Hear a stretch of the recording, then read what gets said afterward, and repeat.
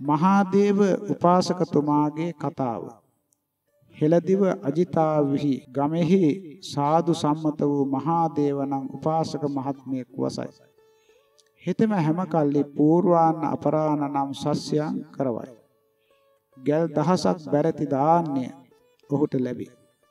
හිතම එක් දිනක් උදෑසනම නැගිට කර්මාන්ත බැලීමට ගොස් ඒවා නියමකොට ගමට හැරී එන්නේ අහසින් ආ රහත් භික්ෂුන් වහන්සේලා අට නමක් දැක සැඟවී සිට උන්වහන්සේලා ගැන පරීක්ෂා කළේය.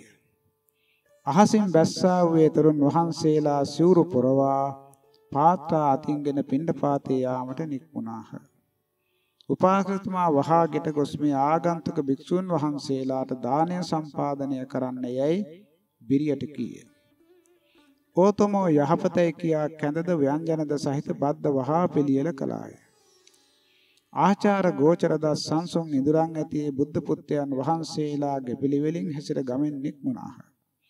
මහා දේව උපාසකතුමා පස්සෙන් අවුත්තේ අට නමගේ පාත්‍ර රැගෙන භික්ෂූන් වහන්සේලා ස්වකීය ගෙට පැමිණවිය. ඒ සියලු දෙනා වහන්සේ ගෙට පැමිණ පිළිවෙලින් හුන් කල් උපාසකතුමා යෝග්‍ය ආහාර වැළඳවිය. භික්ෂුන් වහන්සේලා වළඳන අතරේ උපාසකතුමා අට නම නිත්‍යයෙන් තමාගේ ගේ දන් පිළිගන්නන්සේ ලියවා තබා භෝජනාවසානයේ මෙසේ කීය. ඔබ වහන්සේලා අට නම යම් විහාරයක වසන්නාහු නම් ඒ විහාරස්ථානයේ සංඝයා වහන්සේට භික්ෂාටක් දෙන්නෙමි. උන්වහන්සේලා තොණ්ඩුවගෙන ගමින් නික්ම අහසට නැගී ආර්යයන් වහන්සේලාගේ වාසස්ථානයන්හි බැස්සාහ. සංඝයා වහන්සේට දෙන ලද ඒ සීටු සංඝයා විසින් වැඩිමහලු පිළිවෙලෙන් දිනපතා බෙදා දෙන ලදී.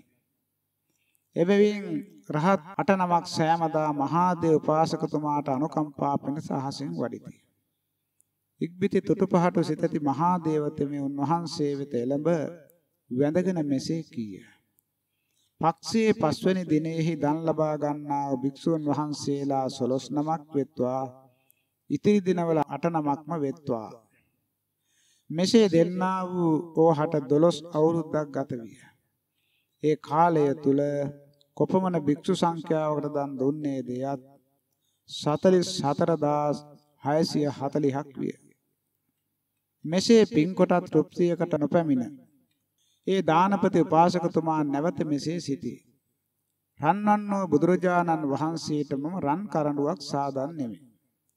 ඒ සඳහා ස්වර්ණ භූමියට ගොස් රන්ගෙන එන්නේ මේ අටවක් දිනයක රහතන් වහන්සේට වස්ත්‍ර සහිත දානයක් දී සතුරු සිත ඇතිව මෝදු ගමන්ට පිටත් විය.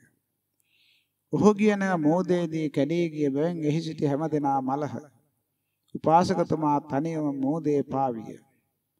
කුටුම්බිය පුත්තිස්ස තෙරුන් වහන්සේ ව 15ක් දා වස් පවාරණය සඳහා වැඩහුන්නේ මෙසේ කීය. එවත්නි දේව උපාසකතුමා මෝදේ පාවේ. ඔහු දියෙන් ඔසවා මා වෙත ගෙනා මැනව. උන්වහන්සේගේ කීම ආසා භික්ෂුන් වහන්සේලා දෙනමක් අහසින් ගොස් ඔහු ඔසවාගෙන විහාරස්ථානයට පැමිණියහ.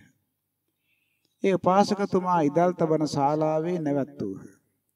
ශක්‍ර දේවේන්ද්‍රයාද පවාරණ දිනෙහි පැමිණ සෑගට ඇතුල්ව වඳින්නේ නමලියෝ කොඩියක් එහෙල්ලා තිබුණ දැක බලවත් පැහැදීම ඇතිව තෙරුන් වහන්සේගෙන් මෙසේ විචාලේය.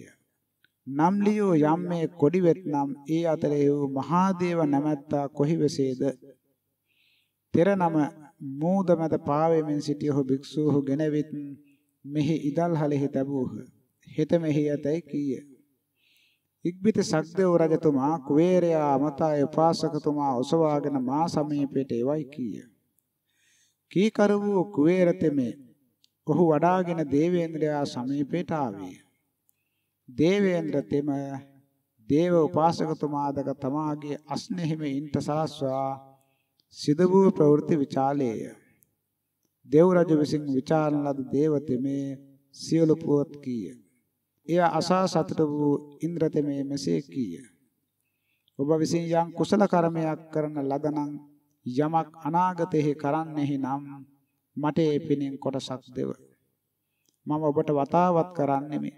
දේව රාජයාණෙනි. ඔබටත් අන් ප්‍රාණීන්ටත් මා විසින් පින් කොටස් දෙන ලදී. ඒ අසුරයෝද මිනිස්සුද අපායෙන් මිදෙත්වා.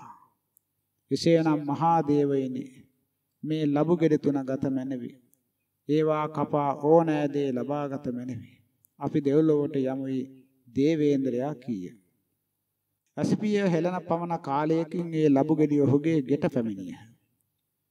එහි තිබූ ලබු ගෙඩි තුනෙන් ධන තුනක් නික්මිය.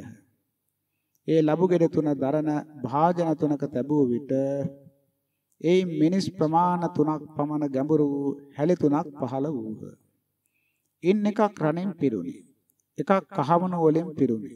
අනෙක සුවඳ හැල් වලින් පිරුණි. ශ්‍රේ නොවන්නා අපරිමිත ධනයක් විය. මහා දේවය කැමැති පරිද්දෙන් මේ ධනය අනුන්ට දෙව.